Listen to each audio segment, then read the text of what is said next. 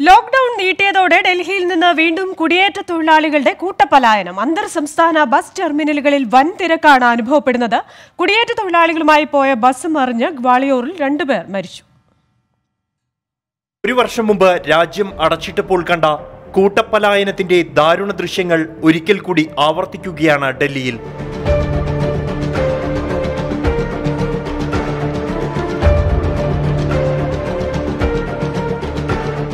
കയ്യിൽ ഒതുങ്ങുന്നതെല്ലാം എടുത്ത് മടങ്ങുകയാണ് കുടിയേറ്റ തൊഴിലാളികൾ ലോക്ക്ഡൌൺ പ്രഖ്യാപിച്ചതിന് തൊട്ടു പിന്നാലെ തുടങ്ങിയ പ്രയാണം തുടരുകയാണ് ലോക്ക്ഡൌൺ നീട്ടില്ലെന്ന മുഖ്യമന്ത്രിയുടെ വാക്കുകൾ ആത്മവിശ്വാസം നൽകാൻ മതിയാകുന്നില്ല लॉकडाउन हो गया सर इतने टाइम से परेशान है पिछले साल की तरह कोई दिक्कत आएगी आठ दिन के लगाया हुआ चौदह दिन के इक्कीस दिन के हम लोग मर गया फिर ऐसा ही हो गया अरे सर एक हफ्ता बाद फिर बढ़ गया तब तो फिर कोई दिन भी नहीं रहेंगे കഴിഞ്ഞ തവണ ദുരിതദൂരം നടന്നു തീർത്ത തൊഴിലാളികൾ ഇത്തവണ അതിർത്തികൾ അടയ്ക്കും മുമ്പ് സ്വന്തം മണ്ണിലേക്ക് മടങ്ങുകയാണ്.